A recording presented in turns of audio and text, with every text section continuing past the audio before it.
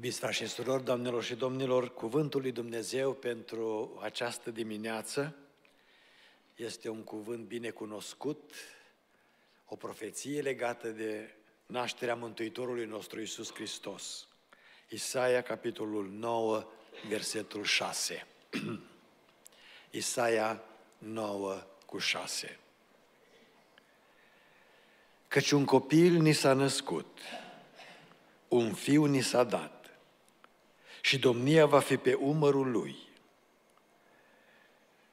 Și vor spune numele minunat, sfătuitor, Dumnezeu puternic, Tatăl veșnic și Prințul păcii. Amin. Suntem în atmosfera aceasta a marii sărbători a nașterii Mântuitorului nostru Isus Hristos, cunoscută popular sub numele de Crăciun. Permiteți-mi o paranteză pentru cei ce au probleme cu terminologia Crăciun. Um, în uh, limbajul tuturor popoarelor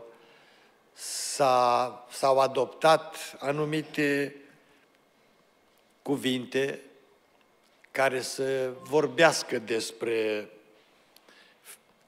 fenomene, despre experiențe, uh, despre lucruri pe care oamenii ajung să le celebreze, să le cunoască. Și în cadrul religios al poporului român, nașterea Mântuitorului Iisus Hristos a ajuns să fie uh, pusă împreună într-un cuvânt, într-un termen popular numit Crăciun. Nu este deloc greșit să spui Crăciun, acesta este uh, cuvântul care a fost adoptat în limba română. Și, de fapt, vreau să ne aducem aminte despre acest mare adevăr.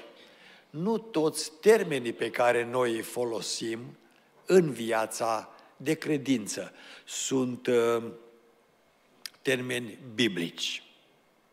De exemplu, cea mai mare sărbătoare în uh, lumea penticostală care este?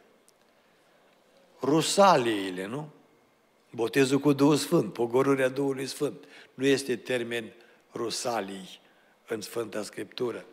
Este o terminologie adoptată în limba română și încă vine de la o sărbătoare a rozelor probabil, um, care coincidea cu sărbătoarea pogorârii Duhului Sfânt și atunci s-a adoptat acest termen. Crăciun, probabil, probabil, că în limba română vine de la uh, terminologia latină co-oratio. Co-oratio.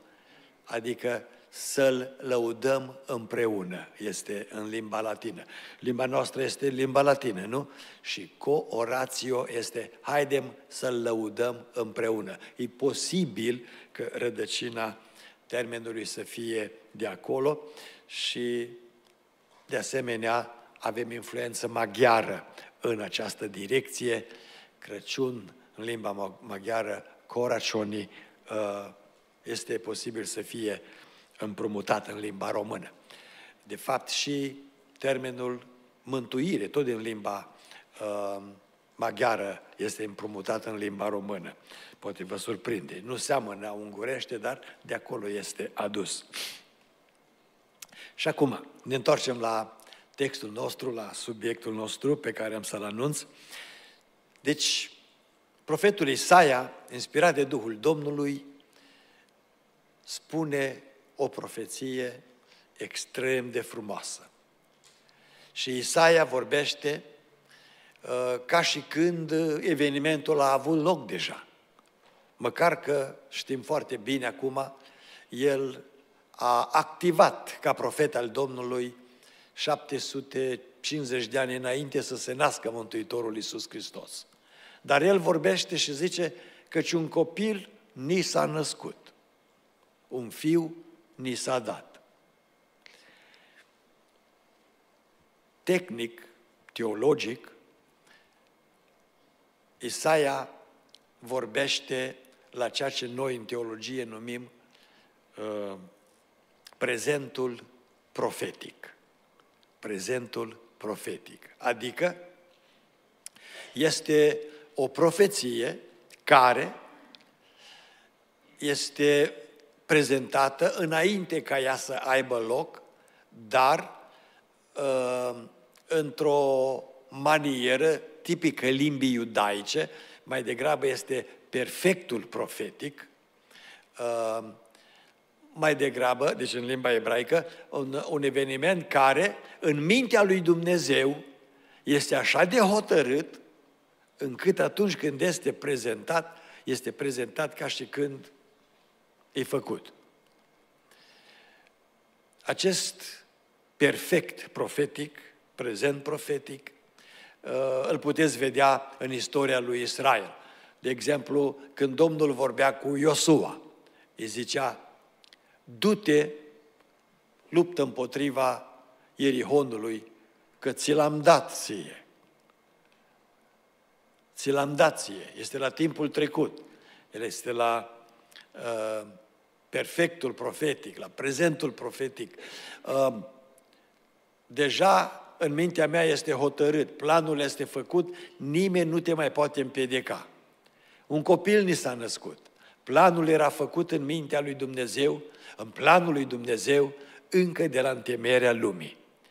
Ca unul din cei trei care formează ceea ce Biblia numește Dumnezeirea sau Dumnezeu, unul din cele trei persoane uh, sfinte, să se întrupeze și să facă lucrul acesta pentru salvarea omenirii. Este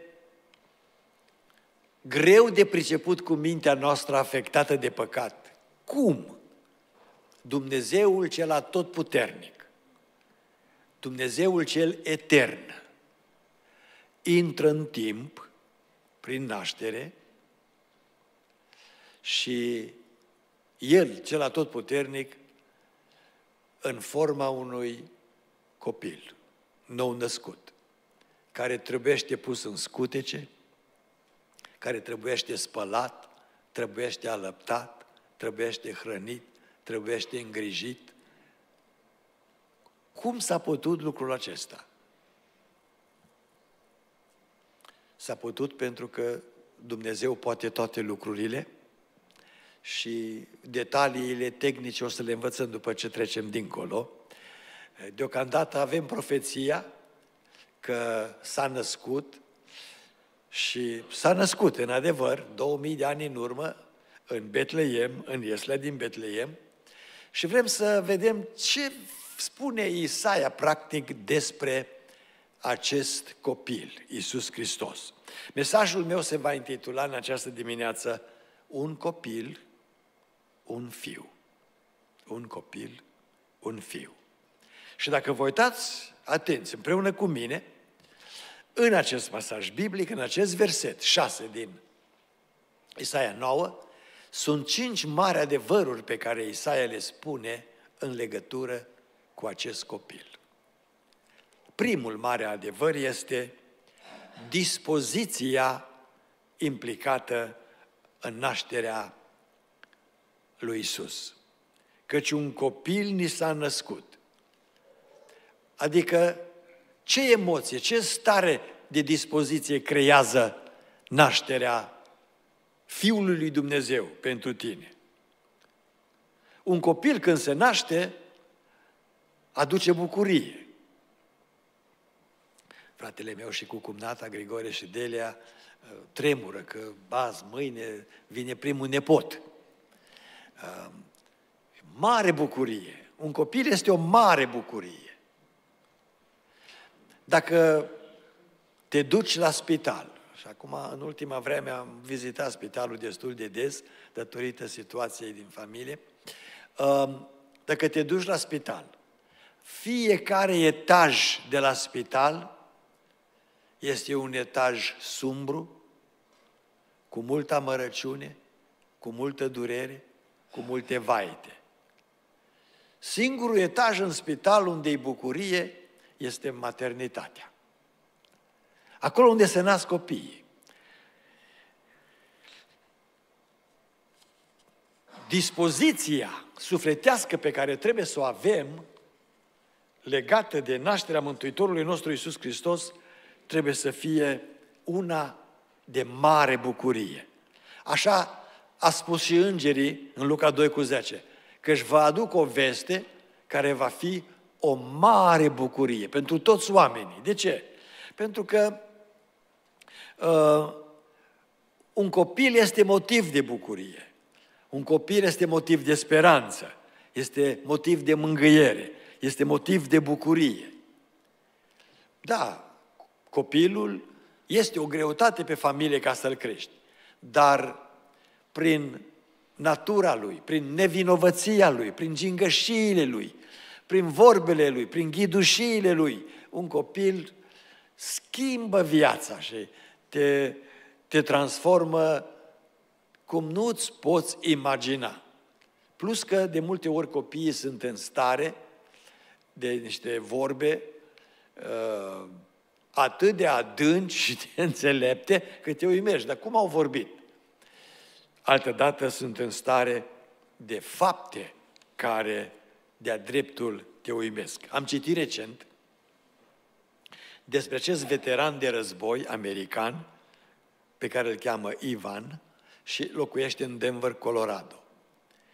Și în articolul acesta pe care l-am citit spune și acum, la 30 de ani după război, după ce este acasă, are probleme, are coșmaruri, vizitează mereu uh, medicii, psihiatri, pentru că este frământat de această scenă care în mintea lui este vie și o trăiește în fiecare zi.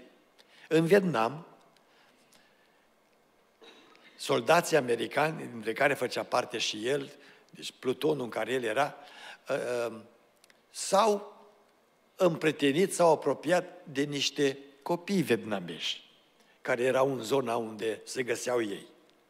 Copiii aceștia au căpătat încredere și au, spune articolul, veneau în fiecare zi la acești soldați americani să le dea gumă, să le dea ciocolată, așa cum sunt copiii. Și dintre acești copii, o fetiță de șapte ani uh, s-a apropiat cu inima mai mult de acest uh, uh, soldat, de Ivan, și venea zilnic și îi spunea că îl iubește. Îi cerea să se joace cu ea în timpul când ei erau liberi și aveau pauză. Și Ivan spune că s-a îndrăgostit așa de mult de, de drăgălășenia acestei fetițe de, de șapte ani, încât i-a spus, tu vei fi fetița mea când eu mă duc acasă în America, te iau cu mine și te duc cu mine. Viet Congu, armata comunistă din nordul Vietnamului, uh, au uh, aflat lucrul acesta despre acești copii care se duc în prezența soldaților americani și au aflat despre această fetiță care uh, pretenia cea mai mare cu unul din soldați acolo. Și au uh, pus la cale un plan diabolic.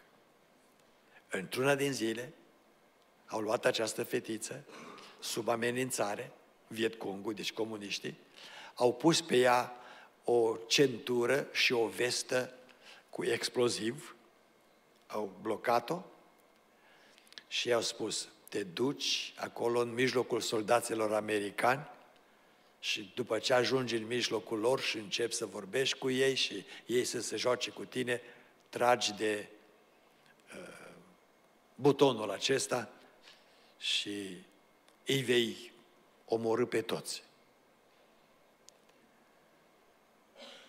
Fetița, cu frică, a venit singură spune articolul, și când s-a apropiat de centrul acesta unde erau soldații, a strigat pe Ivan. Și Și după ce l-a strigat și Ivan a ieșit să vadă ce se întâmplă, și-a desfăcut bluza și i-a arătat că are veste explozivă pe ea și centură. Și a zis, dacă vin la tine, vom muri amândoi sau mor mai mulți. Pentru că cineva stă în spate cu pușca să mă împuște când am ajuns în dreptul vostru dacă eu nu trag de butonul acesta. I-a strigat și i-a spus. Și au fost puși într-o dilemă soldații americani, pentru că știau că o împușcă uh, comuniștii, dacă vine aproape de ei ca să moară cât mai mulți, și au făcut o hotărâre. Ivan a luat pușca lui și pe fetița pe care o iubea cel mai mult am pușcat-o. Ca să n-ajungă între ei și să moară soldați americani. Și de atunci, 30 de ani, are coșmaruri și frământări zilnice, zilnice. Nu se poate liniști și nu se poate împăca cu gândul că pe fetița pe care a iubit-o cel mai mult și la care i-a promis că o aduce în America și o face fetița lui, a trebuit să o împuște, să o omoare, ca să salveze viața celorlalți soldați și nu poate să uite cum această fetiță a avut atâta curaj să spună eu sunt pusă să vin să vă omor. Un copil face lucruri care te uimește. Și de aceea, dispoziția pe care trebuie să o avem la nașterea Mântuitorului Iisus Hristos trebuie să fie una de mare bucurie, de mare apreciere, pentru că Cel ce s-a născut și a venit între noi este Dumnezeu. Și El s-a coborât la nivelul nostru ca să poată să vorbească cu noi și să ne facă să înțelegem dragostea și planul pe care îl are de a ne mântui. Glorie Domnului! Dispoziția la nașterea Lui. Al doilea lucru pe care îl vedem în prezentarea lui Isaia, în prezentarea profetică, este datoria implicată la nașterea lui. Un copil spune, ni s-a născut. Ni s-a născut nouă, frați și surori, doamnelor și domnilor. Deci avem o datorie. Cu un copil care se naște, ai datorie față de copilul acela. Ai datorie tu să-i dai de mâncare, tu să-l schimbi, tu să-l crești, tu să-l educi, tu să-l ocrotești. Și datoria noastră este la fel. Trebuie, trebuie să avem grijă de Isus Hristos. Nu-L vedem acum în prunc, dar îl vedem în semenul nostru. Și trebuie să avem grijă de semenul nostru. Crezi tu lucrul acesta? Asta e datoria noastră. Sunt sărbătorile de iarnă, sărbătoarea Crăciunului, sărbătoarea anului nou. Te-ai uitat în jur să vezi ce datorie ai sau am ca să binecuvântezi o familie, să binecuvântezi un copil, să binecuvântezi un tânăr, să-l îngrijesc, să-l îmbrac, să-l hrănesc, pentru că vine ziua aceea în care Iisus Hristos va spune, am fost flămând și mi-ați dat să mănânc. Am fost în temniță și în spital și m-ați vizitat. Am fost străin și m-ați primit în casele voastre. Mi-a fost sete și mi-ați dat de băut. Am fost bolnav și ați îngrijit de mine. Datoria de a îngriji de Isus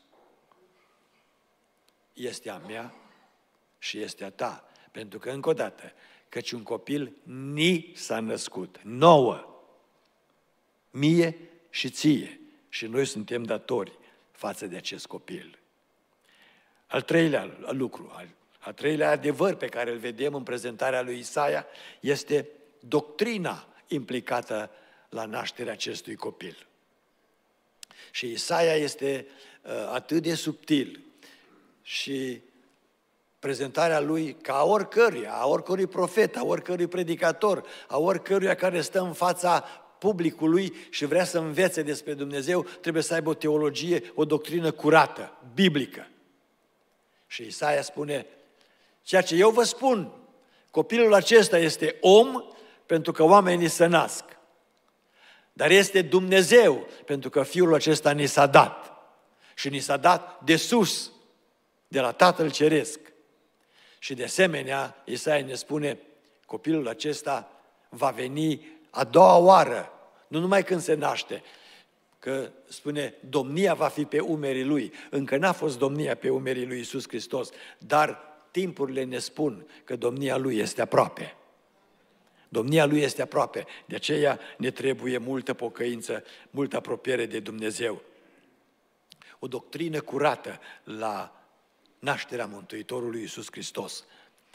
În al patrulea rând, este domnia implicată la nașterea Lui și domnia va fi pe umărul Lui. Când a venit în lumea noastră pruncul Iisus Hristos, a venit într-o lume în care l-a disprețuit și într-o lume care a cerut să fie răstignit. Astăzi, trebuie să recunoaștem că în cea mai mare parte a lumii, Iisus Hristos încă este disprețuit. Însă, astăzi, cum spune și Sfântul Apostol Pavel, mântuirea este mai aproape de noi decât atunci când am crezut. Dacă Apostolul Pavel spune că era mai aproape de el decât atunci când a fost pe drumul Damascului, de noi este mult mai aproape izbăvirea finală. Au trecut 2000 de ani și tot ce se întâmplă în jurul nostru strigă cu glas tare. Vine Domnul. Și când vine Domnul, vine să domnească, nu să fie umilit. Vine să domnească. O împărăție glorioasă, o mie de ani, în care El va domni de la Ierusalim, fizic dacă vreți, literal, va domni de la Ierusalim, peste lumea care va rămâne după necazul cel mare și după răpirea bisericii. Oamenii vor continua încă o mie de ani pe pământ. Se vor înmulți pentru că vor fi într-o stare de binecuvântare, fără boli, fără moarte. Vor muri numai aceia care nu vor vrea să creadă în Isus Hristos, pentru că oamenii sunt carne.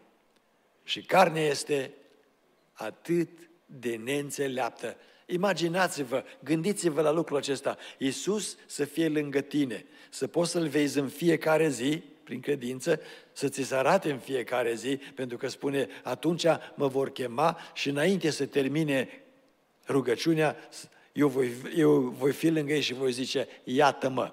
Așa se va întâmpla în timpul mileniului, pentru că va fi pe pământ Iisus Hristos. Și totuși să fie oameni care să zică, eu nu vreau să cred în El. Aceștia vor muri la 100 de ani, ca blestemați. Oricărui om care se naște în timpul mileniului, îi se acordă din partea lui Dumnezeu 100 de ani, timp în care să se maturizeze și să primească de bunăvoie să creadă în Isus Hristos, să devină un fiu al împărăției. Dacă la, până la 100 de ani nu vrea să creadă în Isus Hristos, cuvântul Domnului spune, aceștia vor muri ca blestemați la 100 de ani, la neîmplinirea zilelor. Pentru că atunci, spune, zilele copiilor poporului meu vor fi ca acedilor din Liban. Vor trăi o mie de ani și oamenii se vor înmulți. Vine Domnul Iisus Hristos dacă te uiți în Israel, vine Domnul Isus Hristos. Dacă te uiți în biserică, apatia care este în biserică și lipsa de, de, de viață spirituală ne spune că trebuie să se întâmple ceva și lucru care trebuie să se împlinească și să, să se pună din nou foc în poporul Domnului este venirea Domnului Isus Hristos. Este domnie în profeția lui Isaia și domnia va fi pe umerii lui. Dar până El vine, Am o întrebare și întrebarea este biblică.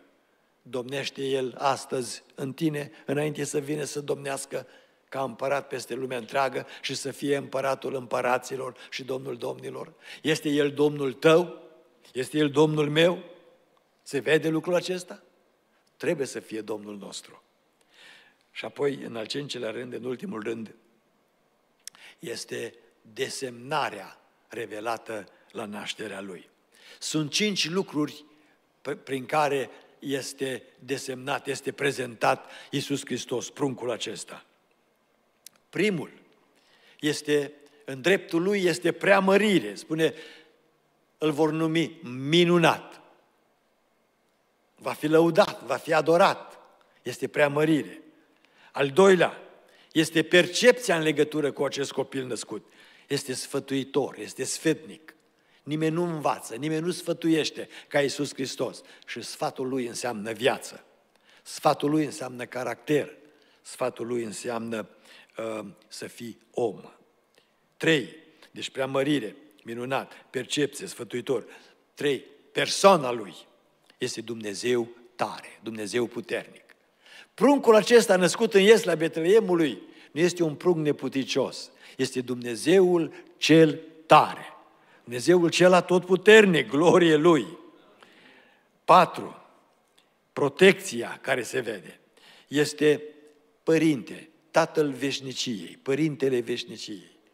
Un tată este cel ce oferă protecție copiilor. Și este, cum spuneam altă dată, foarte, foarte uh, uh, interesant să te uiți. Copilul acesta se naște și acest copil este deja părinte. Este deja părinte. Este părintele eternității.